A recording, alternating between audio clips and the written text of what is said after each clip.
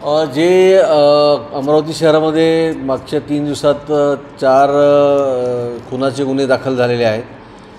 यामध्ये काल संध्याकाळी जो राजापेठ पोलीस स्टेशनच्या हद्दीत घटना झाली युवतीचा जो खून झाला होता ती तिच्याच ओळखीच्या मित्राने आणि त्याच्या जे मैत्रीण होती त्या दोघांचं वाद झाला आणि त्या वादमध्ये त्यांनी त्या युवतीला भोसकलं आणि त्याच्यामुळे तिची जे आहे रक्तस्राव झाल्यानंतर म- ती मरण पावलेली आहे. तर त्या प्रकरणामध्ये ती म चाकू मारणारी युवती आणि तिचा जो मित्र आहे ते दोन्ही आरोपींना अटक करण्यात आलेली आहे. याच्या आधी जी दोन घटना झाली आहेत कोतवाली पोलीस आणि बंडेराच्या हद्दीमध्ये ते सुद्धा गुन्ह्यामध्ये आरोपी अटक झालेले आहेत.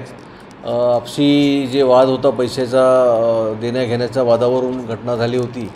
आणि मयत याच्या मित्रांनी त्याच्याच मित्राला मारलं की तू आमच्या मित्राला का सोडून गेला? आणि अशा कारणावरून त्यांचे वाद झाले आणि त्या युवकाचा खून झाला. असे ती चार घटना झालेल्या आहेत. पण चारहीमधले आरोपी निष्पन्न झालेले आहेत अटक झालेली आहे. या सर्व घटना ज्या आहेत हे वैयक्तिक कारणास्तव झालेले आहेत.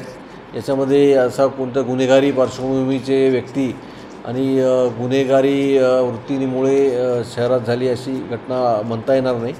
सर्व तात्कालिक कारणामध्ये झालेले आहेत.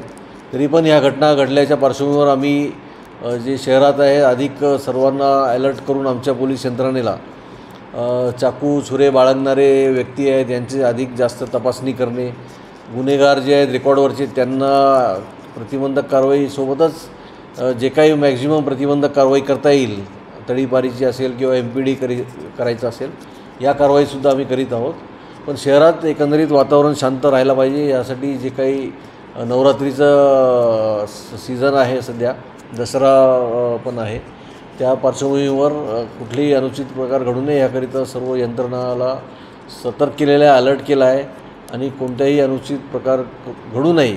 सार्वजनिक ठिकाणी कोणीही क्राईम करू नये किंवा लोकांवर दहशत माजू नये अशी प्रकारचे कृत्य होऊ नये. यासाठी आम्ही जास्तीत जास्त पेट्रोलिंग स्ट्रीट क्राईम कमी करण्यासाठी लोकांवर कोम्बिंग ऑपरेशन करणे अशा विविध उपाययोजना करीत आहोत. तरी सर्व नागरिकांना विनंती करतो आपल्या माध्यमातून की काहीही माहिती असल्यास तात्काळ आम्हाला कळवावे किंवा एकशे बारावर कॉल करावे. पोलीस मदत आपल्याला मिळेल आणि आपल्यालाही अशी काही माहिती असेल तर तात्काळ इन्फॉर्मेशन द्यावी ज्याच्यावर त्वरित ॲक्शन घेण्यात येईल.